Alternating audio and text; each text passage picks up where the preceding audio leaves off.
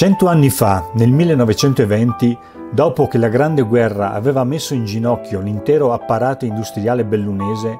l'imprenditore calaltino Lucio Lozza gettò le basi della moderna industria dell'occhiale cadorino. Sulle rovine della piccola officina del padre Giovanni, distrutta dagli austriaci, iniziò a realizzare montature in celluloide, un articolo redditizio e ricercato che già negli Stati Uniti d'America si stava rapidamente diffondendo pubblicizzato dagli attori di Hollywood, tra i quali Harold Lloyd, celebre per i suoi grandi occhiali rotondi.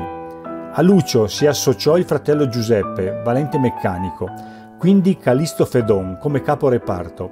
e così nasceva ufficialmente la ditta Fratelli Lozza. All'inizio, nell'angusto locale presso San Francesco d'Orsina, lavoravano sette operai,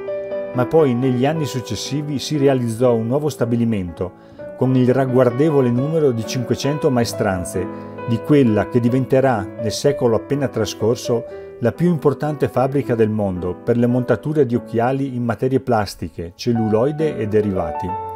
Nel 1941 Lucio Lozza fu nominato Cavaliere al Merito del Lavoro e presidente della magnifica comunità di Cadore, arrivando nel 1944 a finanziare perfino la resistenza cadorina.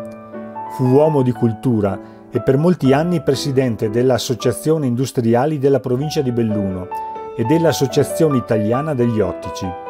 Si spense il 24 giugno 1954, lasciando la direzione a Mario ed Agostino Lozza. La sirena che annunziava a tutto il Cadore l'inizio dell'orario lavorativo da tempo è muta